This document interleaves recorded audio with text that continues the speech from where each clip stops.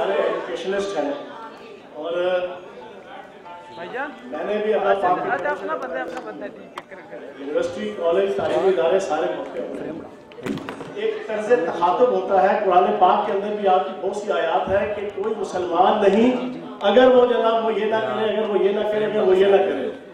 मैं एक तर्ज तर्ज तखातुब के तौर पे जो है ना एक चीज़ अपनी बयान करने लगा हूँ छह सितंबर की अफसलियत के हवाले से और आगे से आपने जो रिस्पांस दिया वो आपका अपना मजाज है। मैं पॉलिटिक्स पॉलिटिशियन हूँ मेरे लिए कोई नई चीज़ नहीं है। ना मैं इन चीज़ों से घबराने वाला हूँ। मैंने अपनी एक तकरीर का आगाज़ किया 6 सितंबर के हवाले से और मैंने शुरू में कहा कि जो चीज़ें होती हैं मुतालबात और मसाइल।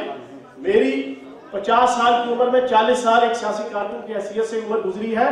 मसाइल जो है ना इन, जनाब जलसों में और इन बड़ी बड़ी जनाब 400-800 की गैदरिंग के अंदर सॉल्व नहीं होते। मसाइल हल होते हैं डेलीगेशन के अंदर जिलों के अंदर, या आपके महदूद जो है ना, जो आपके नुमाइंदा लोग होते हैं, उनके अंदर। मैं योम दिफा के हवाले से यहाँ टाइम दे के आया हूँ। मैंने अगर एक दिन पहले रात को, एक दिन भी नहीं, चौबीस घंटे भी नहीं, सोलह घंटे भी नहीं, दस घंटों के अंदर अगर मैंने टाइम दिया है तो 6 सितंबर और योम दफाई पाकिस्तान के हवाले से टाइम मुझसे दिया गया था। मैं उसको तो खाते करने लगा आगे से जो आपने जेस्टर दिया वो आपका जेस्टर है। मुझे उससे कोई गर्ज नहीं है। ना मैं इन चीज़ों से घबराता हूँ। मैं जिस गुजरी माँ की गोद में पल के जवान हुआ हूँ, उसने मुझे अपने मुल्क और अपनी कौम और अपने मज़हब के साथ हिम्मत, जुर्रत, हौसले और फंगले के साथ बात करना सिखाया हुआ है। मैं कोई आपके खिलाफ यहाँ बात नहीं कर रहा था। ये आपका अपना सेंस है कि आपने इसको किस अंदाज से ले लिया। मैंने अपनी गुफ्तगू का आगाज़ किया था और उस पर मोमेंटम बांधा था अपनी गुफ्तगू का योम दिफा के हवाले से। बाद में अगर मैं यहाँ आया हूँ तो मैंने आपके हवाले से बात करनी है। आपके मसले के हवाले से भी बात करनी है। लेकिन आगाज़ एक लेकिन अपना अच्छा एटीट्यूड शो नहीं किया। ये भी मैं आपके सामने रखूँ। लेकिन कोई बात नहीं। सियासत है लगे दम मिटे दम तारा पम पम लगा रहता है। कभी जेल, कभी तेल, आगे गाड़ी, पीछे रेल, हमारे लिए नया नहीं है। फियाल हसन चौहान के लिए नया नहीं है। बाकी किसी पॉलिटिशियन के लिए कोई नया होगा। मैं यहाँ पर अफवाज पाकिस्तान को खराज तहसीन पेश करने के लिए आया हूँ। मैं 6 सितंबर योम दफ़ा मनाने आया हूँ। मैं 10 घंटे के मार्जिन पर तमाम लीगल कोडल प्रोटोकॉल की जो, जनाब रिक्वायरमेंट्स होती है, मैं उनको जूते की नोक रख के अगर आया हूँ तो अफवाज पाकिस्तान के शहदा को सलाम पेश करने के लिए आया हूँ। सियाचिन के बॉर्डर के ऊपर, शुमाली वजीरिस्तान के बॉर्डर के ऊपर, सवाद के ऊपर, और उन्नीस सौ पैंसठ और उन्नीस सौ इकहत्तर और उन्नीस सौ अड़तालीस के जो शहीदों को सलाम पेश करने के लिए आया हूँ। आप भी और मैं भी, सारे यहाँ उस मकसद के लिए मौजूद हैं। मसले यहाँ हल होते रहते हैं। मसले हल किसी एक बंदे का काम नहीं है, किसी हुकूमत का काम भी नहीं है। और मुझे यह भी मत बताएँ कि हुकूमत किसकी आई, किसकी गई। हमने अपोजिशन भी देखी, हमने जेलें भी काटी, मारे भी खाई। हमने सारी चीज़ें देखी हुई हैं। ड्राइंग रूम का पॉलिटिशियन नहीं हूँ, ना अपने बाप दादा के नाम के ऊपर सोने का चम्मच लेके पैदा हुआ हूँ और आके असेंबली के अंदर बैठ के मिनिस्टर बन गया हूँ। हमने गली मोहल्लों के अंदर मारे खा के झूठे 302 307 हवालाते और फूल पसीना एक करके यहाँ तक पहुँचे हैं। हमें पता है इब्रार साहब कि हकूमत रानी चाली चीज़ें होती हैं। हकूमत इकतदार सदा सिर्फ़ अल्लाह पाक की जात का है। सिर्फ़ सिर्फ़ अल्लाह पाक की जात का है। इसका एहसास मुझे है। मैं जानता हूँ, मैं किसी जागीरदार का बेटा नहीं हूँ। मैं किसी सरमायादार और वडेरे का बेटा नहीं हूँ। मैं उसकी औलाद हूँ कि जिसने इस पाकिस्तान के अंदर अपना तन मन धन लगा के कंप्यूटराइजेशन इंट्रोड्यूस करा के आपके एजुकेशन डिपार्टमेंट के अंदर अब्दुल अज़ीज़ खाकसान जिसका नाम है, जिसने अपनी ज़िंदगी के 40 साल पाकिस्तान के अंदर एजुकेशन के अंदर ऑटोमेशन और कंप्यूटराइजेशन को पहली दफ़ा इंट्रोड्यूस करवाया, उसने कारनामा से अंजाम दिया हुआ है। हम मिडिल क्लास के अपर मिडिल क्लास के, वो लोग हैं कि जिन्होंने इस पाकिस्तान इस धरती माँ के लिए कुर्बानियाँ दी हुई हैं। हमें पता है कि पाकिस्तान क्या है, हमें पता है कि धरती माँ क्या है, हमें पता है कि एक गरीब फर्द के जो एक 200 बच्चों का स्कूल चला रहा है, उसके मसले मसाइल क्या है। लेकिन आप भी अपना एटीट्यूड ठीक करें। आप भी जो है वो गली मोहल्ले के जो है वो ताजर रहनुमाओं की तरह, जो ट्रेडिशन ट्रेडर्स एसोसिएशन की तरह या दूसरी एसोसिएशनों की तरह का एटीट्यूड ना रखें। आप उस्ताद हैं। उस्ताद का एटीट्यूड कम अज कम थोड़ा सा डिफरेंट होना चाहिए। फौरी तौर पर फ्लेयर अप हो जाओ तो सियासतदानों में और आप में क्या फ़र्क है? फौरी तौर के ऊपर जनाब आप आग गोला हो जाए तो फिर मेरे में और आप में क्या फ़र्क है? फिर पॉलिटिशियन और एक में क्या फ़र्क है? कुछ जनाबे वाला ना इस तरह ना करें। बाकी, मैंने जो बातें करनी थी, कर दी। बात आखिर में लंबी चौड़ी मैंने बातें करनी थी, लेकिन अब मेरा ख्याल उसका नहीं बनता सिलसिला। मैं काशिफ साहब के साथ बैठूँगा।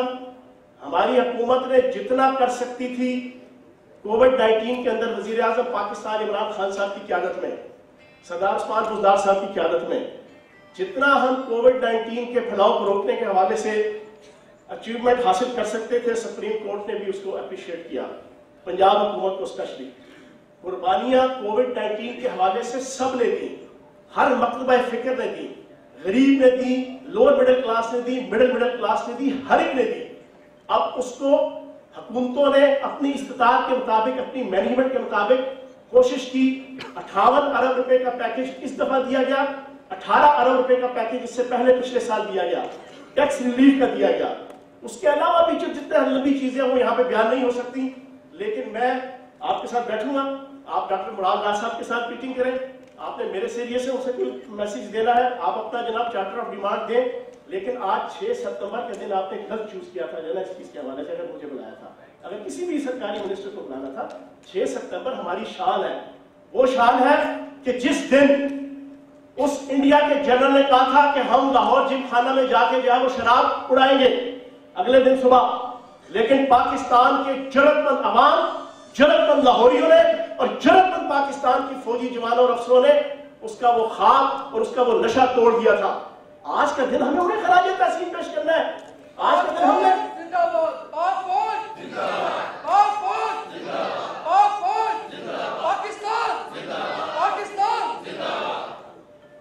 बाकी यहाँ पर बिल्कुल डॉक्टर कदीर खान जिंदाबाद। फिर अगला नारा सब बात सारे सारे जो नारा लगाएँगे आपके साथ नारा लगाएँगे इंशाल्लाह। जो पाकिस्तान के लिए पाकिस्तान के लिए जो अपना तन मन धन लगाएगा हम उसके साथ खड़े हैं।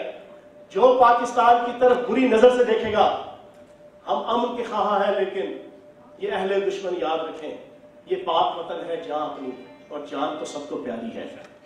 ये हमारी जान है और जान सारों को प्यारी होती है सबको प्यारी होती है।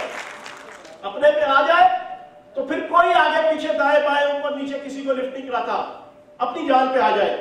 तो जब हमारी जान पाकिस्तान है तो हम किसी इंडियन रॉ की गोद में पलने वाले, किसी फर्द को भी पाकिस्तान के अंदर या पाकिस्तान के बाहर इजाज़त नहीं देंगे कि वो पाक फौज के हवाले से और पाकिस्तान के हवाले से और ख्वाज पाकिस्तान के हवाले से कोई साजिशें करे।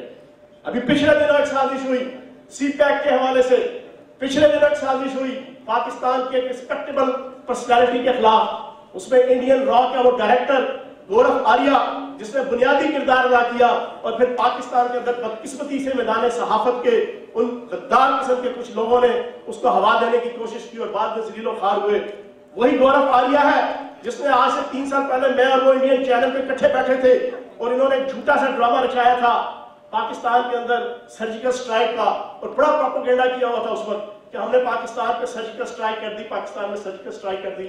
मैंने इंडियन चैनल के अंदर बैठ के इसी मेजर गौरव आर्या सबक डायरेक्टर इंडियन राज अभी भी उनकी सर्विस पे है। मैंने उसको अर्नाब गोस्वामी उनका सबसे बड़ा तासुब पसंद एंकर है। मैंने कहा, तुम किसको सर्जिकल स्ट्राइक कह रहे हो?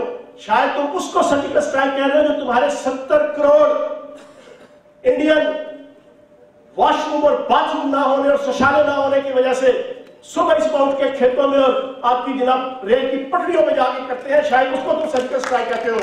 तुम्हारी ऐसी चीज़ कैसी भी तुम्हारी ज़रूरत हो कि पाकिस्तान के एक इंच अंदर दाखिल होके तुम कोई सर्जिकल स्ट्राइक कर सको। पाकिस्तान की फौज दुनिया की टॉप फाइव फौज में से एक है। पाकिस्तान की फौज और इंडियन फौज में ज़मीन आसमान का फ़र्क है। दुनिया में सबसे ज़्यादा खुदकशियाँ फौजी एहलकारों और अफसरों की इंडियन फौज के अंदर है। दुनिया में सबसे ज़्यादा अपनी फौज से भागना और भगोड़ा होना चाहे वो अफसर हो चाहे वो एहलकार और जवान हो सबसे नंबर वन इंडियन फौज है। और दुनिया की सबसे नंबर वन फौज के जिसके फौजी अफसर और जिसके अहलकार सीना तान के कहते हैं कि हमें बॉर्डर के ऊपर खते अव्वल में भेजो वो पाकिस्तान की फौज है। जीवे जीवे पाकिस्तान। जीवे पाकिस्तान। तो इंशाल्लाह ये गौरव आलिया टाइप के करेक्टर एक्टर और फैक्टर और कार्टून पाकिस्तान के अंदर मौजूद अपने इंस्टॉलेशन को जितना मर्ज़ी इस्तेमाल कर लें, कोई पाकिस्तान के मुहब वतन रहनुमाओं को, चाहे वो मुहब वतन रहनुमा आपके स्कूल एसोसिएशन के हो, चाहे मुहब वतन रहनुमा सियासतदान हो, चाहे मुहब वतन रहनुमा आपकी फौज के और आर्मी के लीडरान हो, चाहे मुहब वतन रहनुमा पाकिस्तान के मीडिया के, सहाफत के सब जना वो जना शहसवार हो? चाहे वो किसी भी शोबा ज़िंदगी के, मुहिब वतन पाकिस्तानी रहनुमा हो, उनकी इज़्ज़त और वकार को कोई डैमेज नहीं कर सकता। यही आज 6 सितंबर योम दफ़ा के ऊपर पूरी पाकिस्तानी कौम का ये पैगाम है। और यही पैगाम है कि "ऐ वतन, तूने पुकारा तो लहू खोल खा। तेरे बेटे, तेरे जाबाज चले आते हैं। ये सिर्फ़ शेर नहीं है, ये सिर्फ़ मिली नब्बा नहीं है। ये पाकिस्तान के 22 करोड़ शहरियों की अंग अंग के अंदर जनाब ये चीज़ भरी हुई है, अपनी फौज के साथ मोहब्बत, अपने वतन के साथ मोहब्बत अफवाज पाकिस्तान के साथ मोहब्बत, वो माँ मैं उसको खराज तहसीन पेश करूँगा, जिसका एक बच्चा अगर कैप्टन जो है ना वो शहीद होता है तो उसका अगर जनाजा घर आता है तो वो कहती है कि मैं अपना दूसरा बेटा भी जो है पाक आर्मी के अंदर भर्ती करवा के पाकिस्तान की खातिर और पाकिस्तान की सड़कों पर जो वो शहीद करवाऊँगी ये वो पाक फौज और उसके पीछे वो पाकिस्तान की आवाम है। ये भगोड़ों की इंडियन फौज नहीं है, ये खुदकशियाँ करने वालों की इंडियन फौज नहीं है। ये वहाँ पर रोना रोने वाले हर दूसरे दिन। वो आपका आया होता है जनाब, कोई ना कोई क्लिप इंडियन फौजी रो रहा है कि जनाब, चार दिन हो मेरे साथ रोटी खाने नहीं देती। बॉर्डर पे भेज दिया, फला कर दिया, फला कर दिया। कोई आपको अल्लाह पाक की तरफ़ से हमारी फौज के किसी जवान और अहलकार की, किसी सरहद के ऊपर किसी रेगिस्तान में, किसी पहाड़ में कोई ऐसी आपको अल्लाह पाक की तरफ़ से क्लिप नहीं मिलेगी। क्यों? कि वो अल्लाह उसके रसूल को मानकर जज्बा जिहाद से सरशार होकर सोनी धरती से प्यार और मोहब्बत करने वाले लोग होते हैं।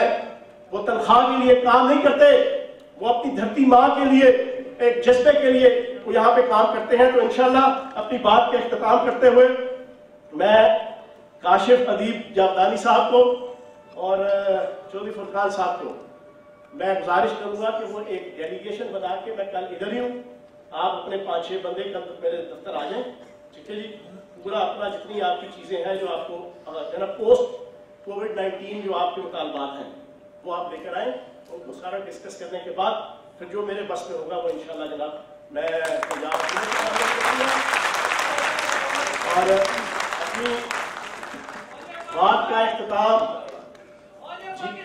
जिंदाबाद। जिंदाबाद। एक बात आखिरी चीज़ आखिरी चीज़। अल्लाह अल्लाह इज़्ज़त भाग लगे रहे। देखो मैं आवामी से आदमी हूँ मैं दिल पे लेने वाला नहीं हूँ। आप मैं खड़ा हो गया आराम से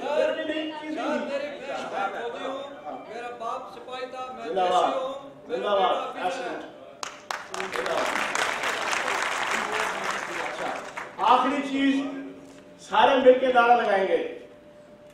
पाकिस्तान। जीवे जीवे। पाकिस्तान। चुप चुप जीवे। पाकिस्तान। राज दुलारा। पाकिस्तान। आग का तारा। पाकिस्तान। हम सबको प्यारा। पाकिस्तान। अव्वल और आखिर। पाकिस्तान। जीवे जीवे। बहुत शुक्रिया। ये तो जनाब फयाजुल हसन चौहान साहब जिनके अंदर एक हुबुल वतन पाकिस्तानी बोल रहा था। हम उनके नहायत शुक्रगुजार हैं। उन्होंने हमें वक्त दिया और आज के दिन की मुनासबत से अपने ख्याल का इजहार